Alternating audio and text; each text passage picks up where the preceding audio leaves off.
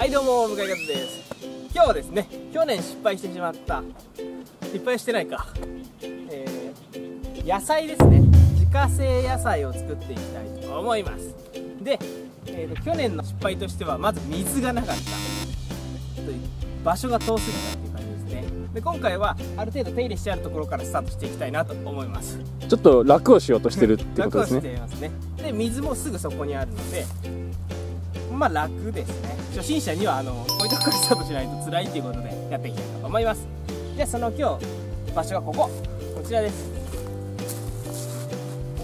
こっちなんかもう植えてあるんですけど使っていいのこことから使っていいって言われたんでちょっともうちょっと耕してから植えていきたいと思います。いやーね今から植えたらもう夏にねスイカとかできるんでね楽しみですね。はい。じゃあやっていく。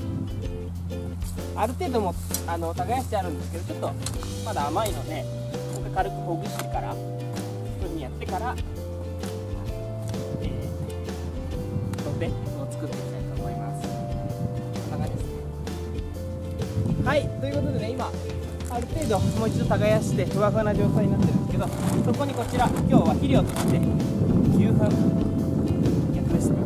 牛糞を入れていきたい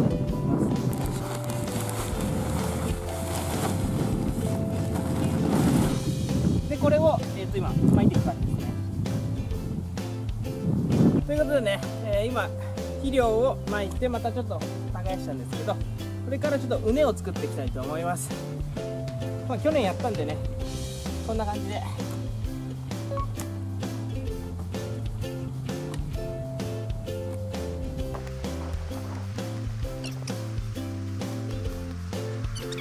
今畝を4本作りました。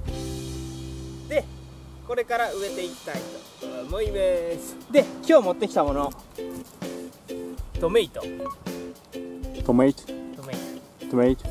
オーチャマよ俺の前シーシート。フリート。で最後こちらちょっとねちょっと興味でスイートバジルっていうのが出てきましたこの、えー、4種類ですねを植えていきたいと思います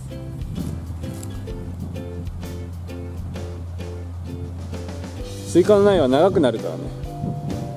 離してつくやった方がいいんだよ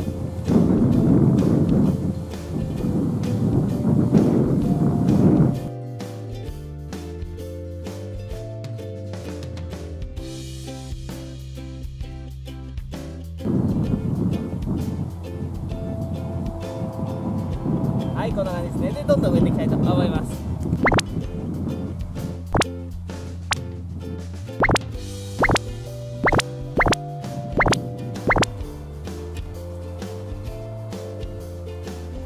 はいということでできました。スイカししとうトマトバジル。この4種類ですね今置いてあります。でこのちょっと水をやっていきたいと思います。はいこうやってね美味しくなる美味しくなるっていうことでね水をあげてますよ。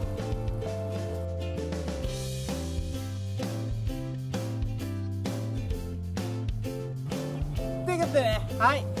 これ向井ファーム第2弾今年は頑張ります。ということでね、えー、向井風のこの農園皆さんね期待してみてください。